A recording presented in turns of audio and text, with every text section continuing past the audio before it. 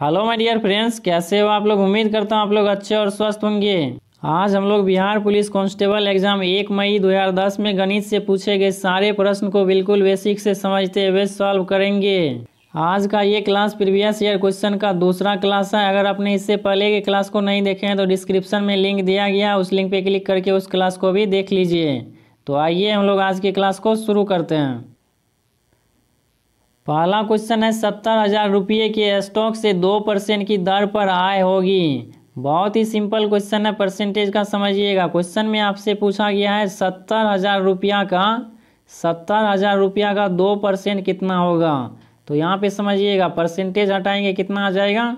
नीचे आ जाएगा एक सौ। डबल ज़ीरो से डबल ज़ीरो ख़त्म हो जाएगा। सात सौ को मल्टीप्लाई करेंगे, दो से कितना आ जाएगा? चौदह सौ आ जाएगा इसको सॉल्व करने के बाद। ऑप्शन नंबर सी हो जाएगा राइट आंसर समझ में आ गया? अगला क्वेश्चन है, एक आयताकार हॉल की लंबी भुजा 24 मीटर तथा इसके विकर्ण की लंबाई 26 मीटर है तो इसका क्षेत्रफल क्या होगा?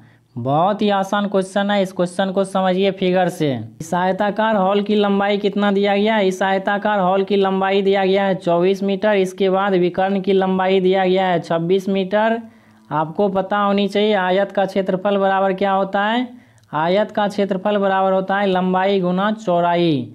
जिसमें आपको लंबाई दिया गया है, चौड़ाई नहीं दिया गया है। तो यहाँ पे आपको निकालना पड़ेगा चौड़ाई। तो चौड़ाई कैसे निकालना है समझिएगा। चौड़ाई निकालने के लिए आपको करना पड़ेगा छब्बीस का स्क्वायर, इसमें से माइनस करना पड़ेगा चौबीस का स्क्वायर।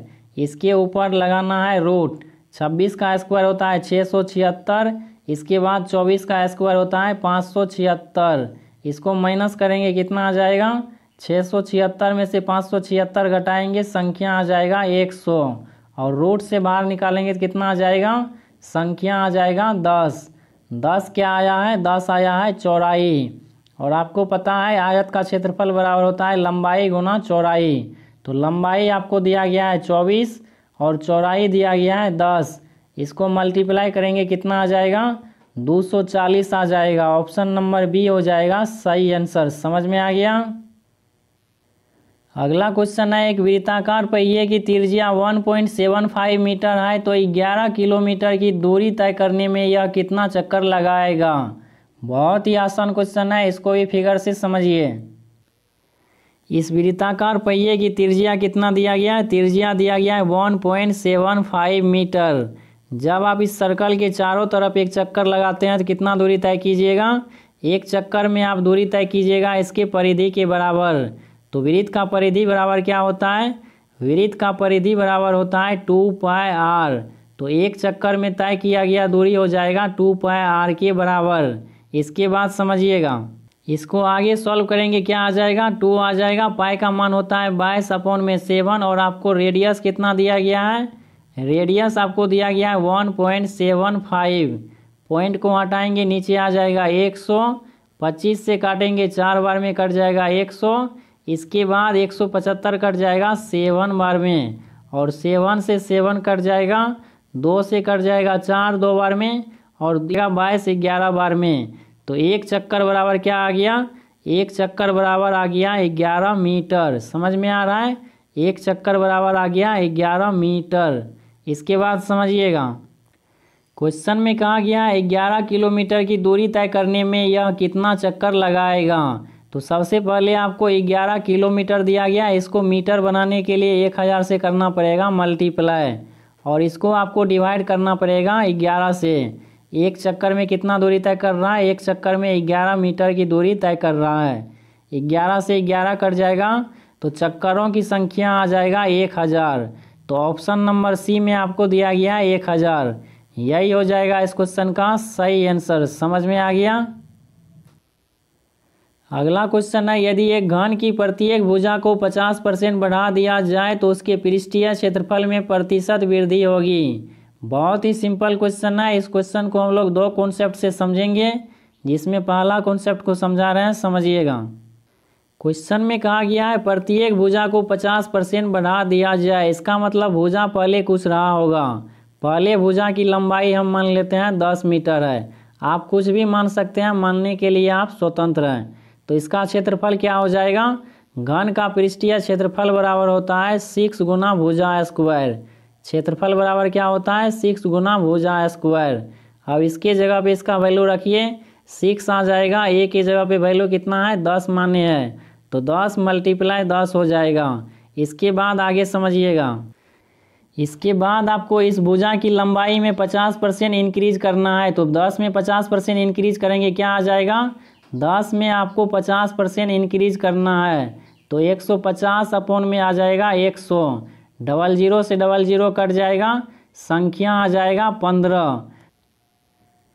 पचास परसेंट इंक्रीज करने के बाद भुजा की लंबाई क्या आ रहा है? भुजा की लंबाई आ रहा है पंद्रह। यहाँ तक आप लोगों को समझ में आ गया? इसके बाद समझिए आगे। पचास परसेंट इंक्रीज करने के बाद भुजा की लंबाई आ गया पंद्रह। अब आपको इसका निकालना है क्षेत्रफल। क्षेत्रफल बराबर क्या होता है? क्षेत्रफल बराबर होता है सिक्स गुना भुजा स्क्वायर घन का पृष्ठीय क्षेत्रफल बराबर होता है सिक्स गुना भुजा स्क्वायर सिक्स की जगह पे सिक्स आ जाएगा, इसके बाद भुजा आया है पंद्रह। तो यहाँ पे आ जाएगा पंद्रह। इसको आपको दो बार मल्टीप्लाई करना है। समझ में आ रहा है? इसके बाद समझिएगा। यहाँ पे देखिए, छः इसमें भी है, इसके बाद छः इसमें भी है। इसको आपको काट देना है ताकि आप कैलकुलेशन से बच पाए। अब यहाँ पे देखिए, दस को मल्टीप्लाई करेंगे, दस से कितना आ जाएगा? एक सौ आ जाएगा यहाँ से। इसके बाद पंद्रह को पंद्रह से मल्टीप्लाई करेंगे, कितना आ जाएगा? दो सौ पच्चीस आ जाएगा। तो संख्या एक सौ से दो सौ पच्चीस हो गया है। कितना इंक्रीज हुआ है? संख्या इंक्रीज हुआ है एक सौ पच्चीस। ऑप्शन नंबर डी हो जाएगा राइट आंसर ये तो हो गया पहला कॉन्सेप्ट इसके बाद समझिए दूसरा कॉन्सेप्ट क्या है इस क्वेश्चन को सॉल्व करने का। समझिएगा, क्वेश्चन में कहा गया है, घन की प्रत्येक भुजा को 50 परसेंट बढ़ा दिया जाए। तो बढ़ाने के केस में जितना बढ़ाया जा रहा है, उतना आपको प्लस करना है। 50 बढ़ाया जा रहा है, इसलिए आपको प्लस का 50 करना है। इसमें आपको प्लस का 50 एक बार और करना है। इसके बाद प्लस कीजिए, पचास मल्टीप्लाई पचास करना है, इसके नीचे आ जाएगा एक सौ। समझ में आ रहा है? डबल ज़ीरो से डबल ज़ीरो कट जाएगा, इसके बाद प्लस का पचास, प्लस का पचास, यहाँ से आ जाएगा एक सौ। इसके बाद प्लस कीजिए, यहाँ से आ जाएगा। इन दोनों को मल्टीप्लाई करने के बाद आ जाएगा पच्चीस। तो एक सौ पच्चीस आ जाएगा इस क्वेश्चन का right answer. Option number D हो जाएगा करेक्ट आंसर। समझ में आ गया दोनों कॉन्सेप्ट आप लोगों को? अगला क्वेश्चन है, सरलीकरण के पश्चात निम्नलिखित का मान क्या होगा? बहुत ही आसान क्वेश्चन है, इसको आपको मल्टीप्लाई करके बताना है तो समझिएगा इसको ध्यान से। यहाँ पे देखिए, संख्या दिया गया है तीन, और यहाँ पे इस ब्रैकेट में संख्या दिया गया है अट्ठारह इन दोनों को आपस में मल्टीप्लाई करेंगे, कितना आ जाएगा? संख्या आ जाएगा चौवन।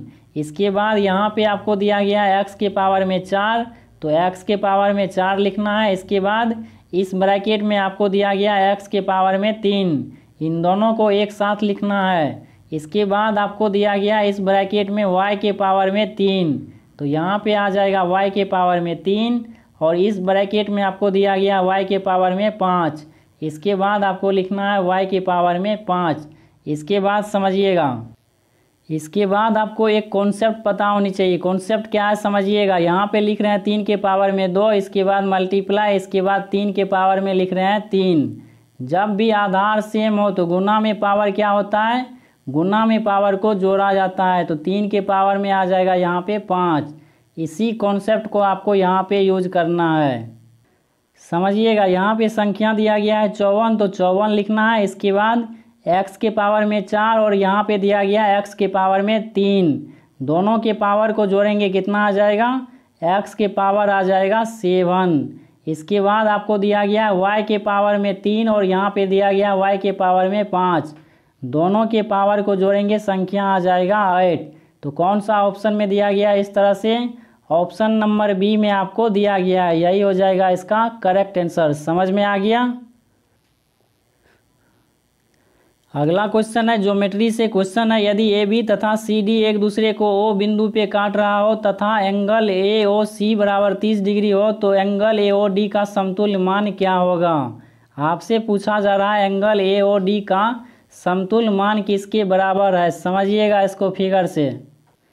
यहाँ पे देखिए, ये है लाइन ए और बी, इसके बाद ये लाइन है सी और डी। दोनों लाइन एक दूसरे को कहाँ पे काट रहा है? दोनों लाइन एक दूसरे को बिंदु ओ पे काट रहा है। इसके बाद क्वेश्चन में कहा गया है, एंगल ए ओ सी बराबर है तीस डिग्री। ये एंगल आपको दिया गया है तीस डिग्री। ये एंगल तीस डिग्री का है तो ये एंगल कितना डिग्री का हो जाएगा? ये भी हो जाएगा तीस डिग्री का। इसके बाद बड़ा वाला एंगल कितना डिग्री का हो जाएगा? ये एंगल हो जाएगा 150 डिग्री का। कॉन्सेप्ट को समझिएगा। किसी भी स्टेट लाइन पे कितना डिग्री का एंगल होता है? किसी भी स्टेट लाइन पे 180 डिग्री का एंगल होता है। जिसमें आपको 30 डिग्री का ये एंगल दिया गया है तो बाकी ये एंगल हो जाएगा 150 डिग्री का। इसके अपोजिट में ये एंगल कितना डिग्री का बनेगा? ये भी बनेगा 150 डिग्री का। यहाँ तक समझ में आ गया? इसके बाद समझिएगा। अब एंगल ए ओ डी बराबर कितना आ गया? एंगल ए ओ डी बराबर आ गया है 150 डिग्री। इस 150 डिग्री के बराबर में देखना है किसका वैल्यू आएगा। तो यहाँ पे ऑप्शन ए को चेक कीजिए। दो मल्टीप्लाई कीजिए। एंगल बी ओ डी बराबर कितना आया है? एंगल बी ओ डी बराबर आया है तीस डिग्री। तीस से इसको मल्टीप्लाई करेंगे साठ आ जाएगा। डेढ़ सौ के बराबर में नहीं आ रहा है, इसलिए ऑप्शन ए हो जाएगा गलत। ऑप्शन डी को चेक कीजिए। फाइव मल्टीप्लाई कीजिए तीस। कितना आ जाएगा? इन दोनों को मल्टीप्लाई करेंगे तो कितना आ जाएगा? मल्टीप्लाई करने के बाद आ जाएगा 150 डिग्री। दोनों का वैल्यू कितना आ रहा है? दोनों का वैल्यू सेम आ रहा है, इसलिए ऑप्शन नंबर डी हो जाएगा करेक्ट आंसर। समझ में आ गया? अगला क्वेश्चन है, संचयी बारंबारता वक्र का प्रयोग किया जाता है प्राप्त करने के लिए। संचयी बारंबारता का प्रयोग किया जाता है माध्यिका निकालने के लिए। ऑप्शन नंबर सी हो जाएगा, करेक्ट आंसर। इस क्लास में इतना ही। मिलते हैं हम लोग अगले क्लास में प्रीवियस ईयर के क्वेश्चन के साथ। तब तक के लिए चैनल पर नया है तो चैनल को सब्सक्राइब कर लीजिए ताकि आपको इसी तरह आगे का क्लास कंटिन्यू मिलता